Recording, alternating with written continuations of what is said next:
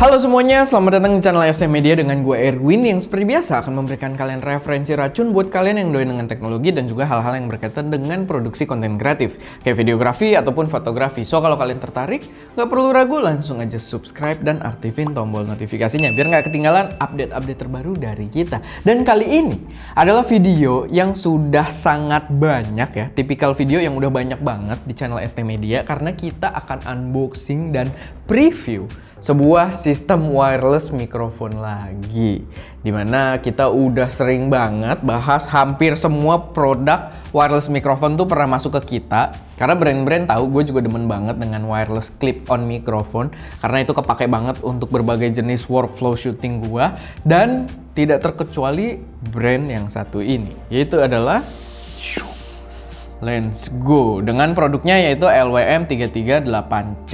Nah, ini adalah produk wireless mikrofon yang mungkin kalau secara harga cukup kompetitif tapi bukan yang low budget banget karena dia dijual untuk yang tipe 2 uh, dua transmitter ini dia dijual dengan harga 3,7 juta rupiah. Dan juga kalau kalian ambil yang satu transmitter doang satu pembicara itu sekitar 2,5 juta rupiah. Kalau ada perubahan atau revisi nanti gua taruh deskripsi atau gua taruh di editing mungkin ya. Tapi yang gua dapet sih infonya tadi gua cek di toko online sekitar segitu. Dan itu harga yang bukan low budget tapi cukup kompetitif karena banyak saingannya di ranah harga tersebut. So sebaiknya mikrofon ini punya banyak key point untuk dipertimbangkan. Tapi di sini dari packing aja gue sebenarnya cukup tertarik karena dia memang membuat sebuah keunikan tersendiri. Kayak salah satunya dia punya protector cover di sini kalian bisa lihat.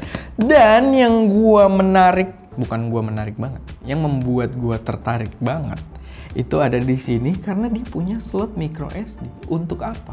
Apakah dia juga berfungsi sebagai recorder? Karena kalau dia berfungsi sebagai recorder, ini akan menjadi semacam game changer juga di ranah wireless microphone. Karena banyak yang suka nanya ke gue juga gitu, para kreator lain yang pengen bikin podcast tanpa harus pakai visual dan nanyain mikrofon yang enak buat bikin podcast di luar yang simple apa ya. Kalau misalkan dia juga recorder, ini mungkin jawaban yang tepat.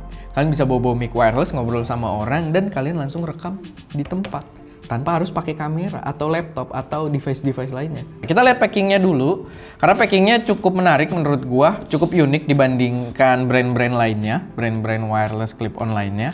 Lalu di sini aksesoris dia nggak kasih nama ya, tapi ya kalian bisa lihat nih ada beberapa aksesoris yang diberikan dan uh, ya standar packaging. Tapi gua kepo dengan monitor ini. Ini monitor apa ini? Tapi tidak tahu. Dan ya kita akan buka aja dia bukanya ke samping gini. Case-nya sih beda banget ya dibandingkan dengan wireless microphone yang pernah kita cobain. Oh, kayaknya gue terbalik.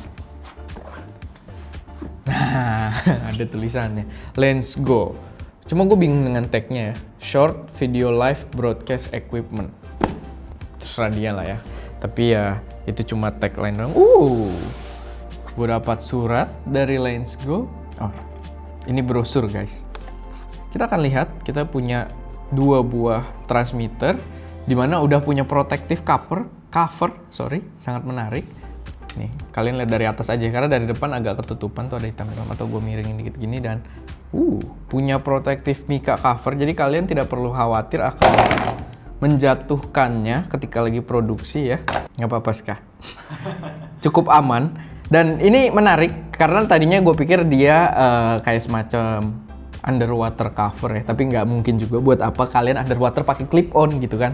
Maksud gue anti air gitu, tapi enggak di sini dia banyak bolong juga buat kalian colok-colok apa segala macam. Jadi protective cover aja. Dan itu poin yang cukup penting karena benar-benar kita nggak perlu khawatir kalau dia akan jatuh. Karena kan kalau kita pakai di ruang produksi apalagi misalkan kalian rental gitu kan dan ini kalian sewain ya ya udah. Kalaupun jatuh-jatuh apa segala macam yang rusak adalah mikanya doang. Dan gue berharap sih mereka juga akan menjual mikanya. Karena kalau misalkan ini udah mulai bopak apa segala macam jadi kita bisa cari ganti untuk si mikanya aja. Nah ini untuk si receivernya jadi sebenarnya Mika ini membuat tampangnya jadi kayak agak-agak mewah ya, agak glossy gitu. Cukup menarik lah.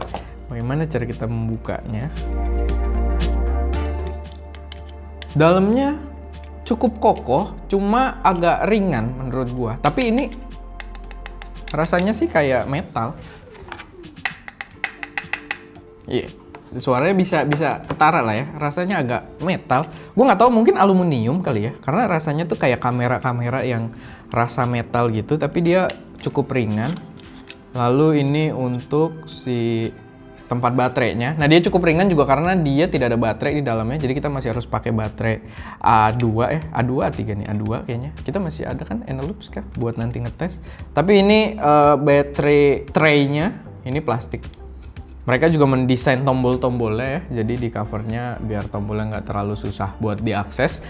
Lalu kita punya pouch, uh, pouchnya juga terlihat cukup mewah ya untuk sebuah alat produksi biasanya tidak perlu terlalu mewah gitu. Oh ini aksesoris yang kita dapatkan pasti. Oh, di sini lebih terlihat males ya. Jadi mereka naruh ininya rapi banget tadi dan aksesorisnya digumpelin di dalam ini. Tapi harusnya tidak jadi masalah. Dan kita lihat kita dapat XLR. Kita dapat kabel ke XLR kalau kalian menggunakan recorder atau switcher gitu kan dalam produksi kalian. Lalu ini kabel TRS to TRRS. Jadi kalau kalian mau connect ke HP, ini juga bisa. Ini TRRS ya yang stripnya 3. Itu buat ditujukan kalau mau dicoloknya ke HP gitu kan dari receivernya. Lalu ini yang buat kamera, kabel TRS, dia juga punya aksen yang berbeda ya, dikasih warna merah dikit buat kamera gitu kan. Ini untuk mic-nya, mic-nya sih nggak terlalu apa ya nggak kelihatan mantep banget biasa aja tapi nanti kita akan tes bagaimana kualitasnya ini kita dapat dua mikrofon pastinya harusnya mana mikrofon satu oh ini dia dapat dua mikrofon lalu kita dapat aksesoris mikrofonnya juga dua ada klip dan juga busanya Lalu antena-antena dan ini kalau kalian mau pasang di hot shoe. Gue tuh nggak suka dudukan hot shoe yang kayak gini sebenarnya. Kayak agak gimana gitu. Tapi nggak masalah lah ya. Lalu buku manual yang gue sudah tidak butuh mungkin buku manual tapi nggak tahu sih karena dia menggunakan sistem yang baru case-nya cukup aman loh ini di dasarnya yang ini aja bawahnya empuk menarik. Kalau kalian mau bawa-bawa lagi nanti cuma orang produksi kan terlalu ribet ya bawa gini. Jadi kalian pasti bawa pakai ini lalu masukin aja yang kira-kira dibutuhkan. Lalu untuk uh, ininya keren loh antenanya. Kita pernah punya wireless clip on yang antenanya gini nggak sih uh, biasanya kan rata-rata mikrofon UHF ultra ultra high frequency. Nah waktu itu yang pakai antena gini kita pakai Saramonic apa gitu gue lupa. Dan itu dia pakai super high frequency tapi ya menurut gue harganya juga terlalu tinggi waktu itu ya jadi kayak mungkin agak berat juga dipertimbangkan kebanyakan orang. Nah ini menggunakan antena yang sama. Jadi gue yakin nih harusnya sih secara sinyal jauh lebih stabil dari mikrofon-mikrofon yang kita pakai sekarang. Lalu, oh dianya enggak. Jadi kuatnya di satu sisi aja ya. Mungkin itu bisa membantu, tapi dia masih pakai. Tapi ini membantu menurut gue karena kalau pakai yang ini di transmitter akan nyusahin. Karena dia tidak sefleksibel itu. Akan capek gitu buat bergerak kayak kena kena. Nah ini kan dia ngikut aja perut lo ke mana gitu dia. Yahui. Kita ambil baterai sekarang. Oke kita akan cobain langsung. Nih udah ada baterai. Gue masukin dulu baterainya. Lalu gue akan buka juga mikrofonnya. Kita sambil setup ya siapin kita akan nyalain dua-duanya. Uh, power. Let's go. Ada logonya signal power hijau. Lalu sepertinya dia langsung connect ya. Oh ini asik karena gue nggak tahu kayaknya kita belum pernah ada yang gini tapi di transmitter dia tahu kapasitas baterai dari mikrofon masing-masing transmitter ya di receiver jadi lo sebagai operator kamera bisa tahu ini kenapa mati. Kayak baterainya, eh enggak nih baterainya full. Cuma tadi kenapa dimati ya? Wah baterainya ngaco nih. Ya sorry guys ya, karena loop kita memang sudah tidak sehat. Sebenarnya tidak cocok untuk pengetesan tapi nggak apa-apa. Karena kita tidak ada lagi. Nah di sini menarik karena kalian bisa lihat kapasitas baterai dari si transmitternya. Tuh, kalian lihat ya di sisi bawah. Jadi yang di atas tuh baterai dari receiver ya. Dan kalian bisa monitoring kalau misalkan si transmitternya baterainya mau habis. Menarik sekali. Itu itu poin yang cukup penting menurut gue cukup mengubah workflow karena kadang kita kan nunggu audionya mati udah jalan lama. Si sekali lagi monitoring. Suaranya tiba-tiba sunyi gitu kan. Terus Win kayaknya punya lo mati. Baru dilihat oh iya baterai habis kah itu workflow yang biasa terjadi. Dan di sini Ska udah bisa wanti-wanti karena udah bisa lihat dari transmitternya oh, baterai masih banyak. Uh, coba kualitasnya kali ya. Tapi sebelumnya gue pengen bahas dulu di sini ada yang menarik karena gue kira si micro SD ditempatkan pada receiver tapi enggak dia ditempatkan pada transmitter. Jadi kalau kalian punya dua pembicara menggunakan dua transmitter dua-duanya dipakein micro SD sebagai backup solution gitu. Itu cukup menarik karena jadi gini, kalau misalkan di receiver kita bisa langsung terima dua-duanya audionya. Tapi kalau masing-masing dipegang satu-satu, berarti kita punya sinyal audio yang tidak menjadi satu di receiver gitu loh. Kita punya audio backupan si A dan si B. Di mana berarti terpisah. Dan kalau misalkan kita ngerekam ke kamera, misalkan kalian pengen redundant recording aja nih, recording yang aman gitu, ada backup files. Kalian ngerekam bersamaan nih lagi dialog, terus tiba-tiba di situ ada Batman mungkin ngejam sinyal gitu kan. Sinyal mati di situ, suara hilang padahal nih pembicaraan yang penting banget. Kalian punya backupan aman tanpa menggunakan sinyal itu ke receiver, kalian punya backupan recording aman dari kedua ini masing-masing menggunakan micro SD. Itu memang keputusan yang menarik dengan keuntungan yang unik juga gitu menurut gua. Karena gua sih lebih prefer sebenarnya di sini. Tapi balik lagi kalau recordingnya di sini ya kalian kalau misalkan ada masalah sinyal terus suaranya kayak bluk bluk bluk hilang ya itu tidak akan terbackup. Yang ke record di sini tetap ya suara yang sinyalnya hilang tadi itu ikut masuk. Sedangkan kalau di sini kalian punya backup yang clear berarti dari masing-masing audio. Belum disatuin jadi satu channel juga. Itu menarik menurut gue jadi itu balik lagi ke workflow kalian aja. Gue cuma menjelaskan dan kalian bisa consider berdasarkan workflow kalian Oke, okay, audio yang sekarang kalian denger ini adalah menggunakan si Lens Go, tapi nggak kayak biasanya. Biasanya kan gue pakai Hansaplast kayak gini. Gue taruh di dalam baju, cuma gue agak males, jadi gue taruh di sini. Nih barangnya, gue taruh sini. Jepitannya sih cukup kuat ya, jadi kalau gue gini-gini kita langsung jalan aja. Oke, ini adalah ruang studio dan suara aman sekali ya. Nanti lo track-track aja kayak biasa kalau gue tanya. Gue sih ngomongnya pelan-pelan aja karena lo pasti denger lewat sinyal. Gue akan keluar, lalu kita ke lantai bawah dan kita lihat itu harusnya kan banyak banget tuh obstacle. Jadi harusnya secara sinyal tuh cukup menantang. Jadi ya kita cobain aja. Kita sambil jalan. Gue masih berdekatan dan kita akan mulai keluar dulu kali ya. Keluar. Dan pintunya gue tutup. Bagaimana Ska suaranya? Masih aman, Ska bilang aman. Oh gue coba masuk ke studio Aldi dulu. Ini jarak gue dan Ska mungkin sekitar 5 meter. Atau lebih mungkin ya ini 10 meter. Karena gue berada di ruangan yang berbeda. Jadi tadi udah lewat lorong dulu dan ini di studionya Aldi. Ska aman? Masih aman, cukup bagus. Dan sekarang kita akan berjalan ke bawah. Walaupun gue nggak yakin gue bisa dengar suara Sky. Mungkin pintunya gue buka dikit. Sky gue buka dikit ya. Yeah. Biar kedengaran kalau teriak. Nah gue akan ke bawah. Kita ke lantai bawah yang tangganya juga sangat banyak ya mendaki gunung lewati lembah dan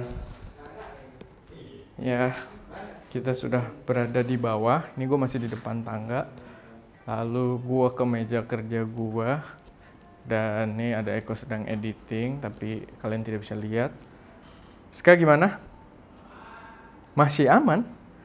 Luar biasa ya kita coba jangan lagi lagi ngetes kenapa sih lo? Ah. Oke okay. Eh ntar gua kena copyright Ska aman? Oh udah udah agak hilang-hilang ternyata tapi ya itu dia ini kita sambil balik harusnya sih sinyalnya jadi kuat lagi tapi ini adalah contoh yang sangat ekstrim karena memang ini jauh nih kalian bisa mendengar gue lagi naik tangga ya. Jadi napas gue akan mulai hah? Oh pas di tangga sempat agak hilang juga. Oke cukup menarik ya. Memang posisi tangga kan berkelok-kelok tapi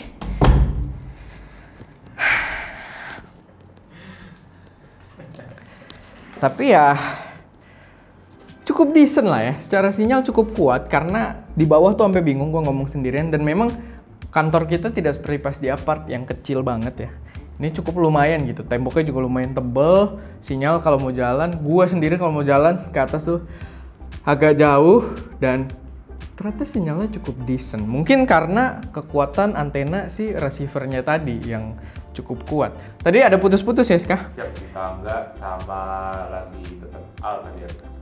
Oh, pas dekat Al. Terus balik lagi, balik lagi. Suaranya kayak gitu yang sp, sp, gitu. Nah, itu kita akan lihat karena gue juga recording tadi di sini yang gue harap itu recording ya gue nggak tahu itu sebenarnya benar-benar ke record atau gimana karena settingannya agak berbeda dengan yang di buku manual tapi kalau memang sudah ke record harusnya itu aman karena dia merekam secara langsung uh, tanpa mengirim sinyal ke sini gitu kan di ada SD cardnya langsung dan itu aja buat nyobain dari Lensgo LMW 338C. Menurut gue ini menarik, cuman gue sih berharap dia menggunakan baterai internal ya.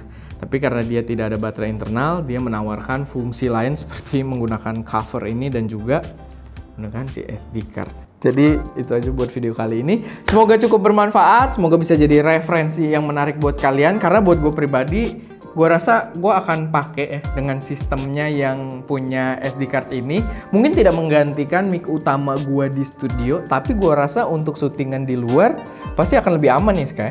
Itu aja, kayak biasa kalau misalkan punya koreksi, saran atau pertanyaan atau pendapat kalian sendiri mengenai mikrofon ini, silahkan taruh aja semuanya di kolom komentar. Ya, terima kasih juga pastinya buat PT DNK Pratama yang sudah mengirimkan produk ini. Jadi kalian kalau nyari produk Lens Go, juga kalian perlu beli yang dari PT DNK Pratama sebagai distributor utamanya di Indonesia.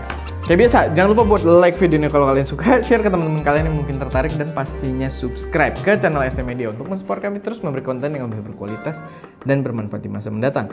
Itu aja, gua Erwin, di belakang kamera ada Ska, dan jangan lupa berkarya.